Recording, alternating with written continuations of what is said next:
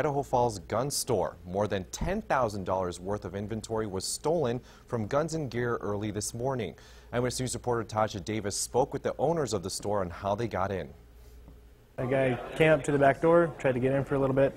He wasn't successful, and so he triggered the alarm, heard the alarm go off, hit the garage door, the receiving door with his truck, squoze through past the door, uh, went through the warehouse, came out to the sales floor, um, grabbed one of our, our shopping baskets and filled it up with as many guns as he could, and then he took off.